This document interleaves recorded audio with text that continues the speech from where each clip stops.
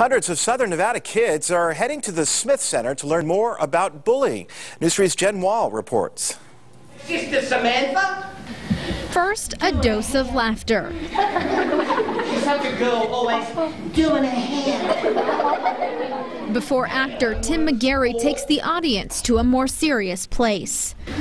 Hop into bed, darling. Oh, it hurts, Mum. The play is based off the book I Am Jack. Two mugs, crackers, cheese, and tomatoes. Poor Nana. Mum is always on a diet. Author Susanne Gervay wrote it to help kids who are picked on all over the world. The main character, Jack, helps tell her son's real life story.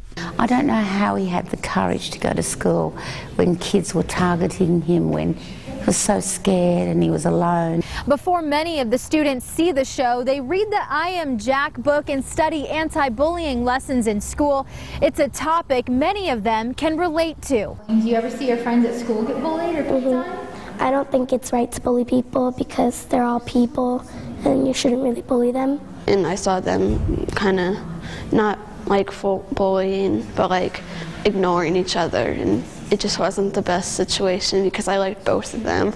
So it was hard for me to, do, to handle that. The Smith Center's Candy Schneider believes the arts are one of the best ways to tackle this issue. Being able to present this concept to children um, through an art form of, of theater is amazing. Allowing the kids to see and feel Jack's pain and know they're not alone.